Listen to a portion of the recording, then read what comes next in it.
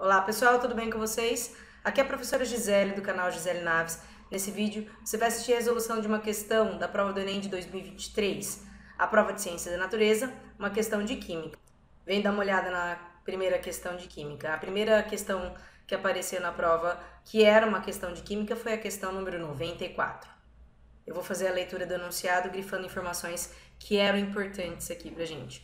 Solos amazônicos, ricos em silicatos, não são apropriados para cultivo por serem incapazes de reter nutrientes. Contudo, descobertas arqueológicas têm demonstrado que os antigos habitantes da Amazônia cultivavam a técnica de preparo de um insumo agrícola natural denominado terra preta. Esse insumo era constituído principalmente de uma espécie de biocarvão, biocarvão importa, obtido na queima de matéria orgânica, como troncos de árvores, pedaços de ossos e estercos, capaz de manter um solo fértil por anos. Admite-se que o bio, que o efeito do biocarvão na fertilização do solo estava em parte relacionado à presença de grupos orgânicos do tipo carboxilato e em sua superfície, carregado negativamente. Esses grupos atraem íons positivos, necessários como nutrientes, tais como os provenientes do potássio, do cálcio, do magnésio, além de micronutrientes como zinco, ferro. Essa ligação no solo é predominantemente iônica. Essa ligação no solo fértil é predominantemente iônica, conforme ilustra a figura, em que M, N+, representa os cátions metálicos.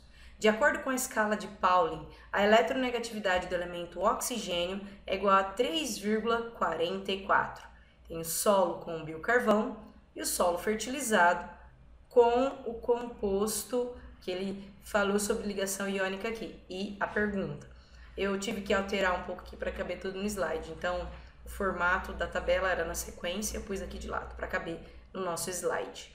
O quadro apresenta os valores de eletronegatividade desses cinco elementos metálicos e tem vários valores aqui. E a pergunta é: o cátion que resultará em uma interação de maior caráter iônico com o ânion oxalato será aquele proveniente de, do elemento e nós temos que escolher qual elemento vai responder essa pergunta do Enem.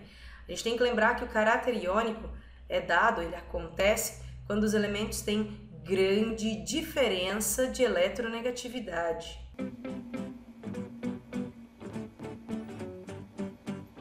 Sabendo que a eletronegatividade do oxigênio é 3,44, entre todos esses, o elemento que vai mostrar uma maior diferença de eletronegatividade vai ser o potássio. Então, quando esse oxigênio estiver conectado com potássio, que está marcado na alternativa A, a diferença de eletronegatividade é maior que em qualquer outra opção e por isso vai ser o que tem maior caráter iônico.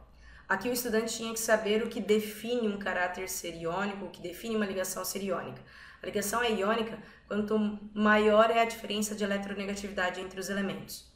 E esse é um conteúdo abordado em química geral. Você pode estudar esse conteúdo quando você estuda ligações químicas. Então, você que vai se preparar para a próxima prova do Enem, estuda ligações químicas e para essa questão, se você soubesse a definição de ligação iônica, você conseguiria responder essa questão com rapidez. Era uma questão fácil de resolução rápida. Eu espero que esse vídeo tenha te ajudado e que ele te oriente nos seus estudos para a prova do próximo Enem. Eu fico por aqui, até o próximo vídeo e até mais.